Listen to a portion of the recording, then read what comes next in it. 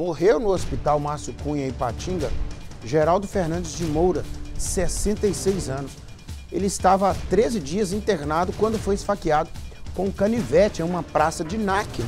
A Gisele Ferreira acompanhou o caso e vai trazer atualizações para a gente. Normalmente, quando vai para o hospital, a gente espera que a atualização seja teve alta, voltou para casa bem.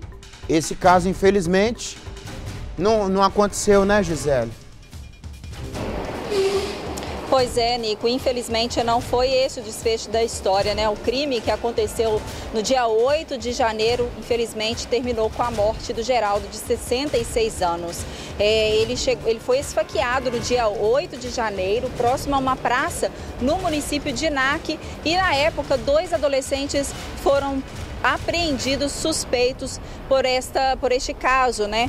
De acordo com a polícia, o homem ele foi agredido com chutes, socos e depois ferido com golpes de canivete. Ele foi, foi trazido para um hospital aqui em Ipatinga, ficou internado por 13 dias, não resistiu aos ferimentos e morreu no hospital. O Nico, os dois adolescentes chegaram a ser apreendidos e eles disseram que a motivação né, de ter agredido o homem de 66 anos seria porque o idoso teria assediado um deles. E aí eles fizeram uma promessa de retornar para poder se vingar daquela situação ali. E infelizmente, então, este caso está sendo acompanhado pela Polícia Civil, né? E envolve aí toda uma questão é, que, que porque envolve os menores, então esses trâmites aí eles são bem bem delicados, até mesmo da gente falar aqui, né, Nico? São adolescentes que são suspeitos aí de crime análogo agora a um homicídio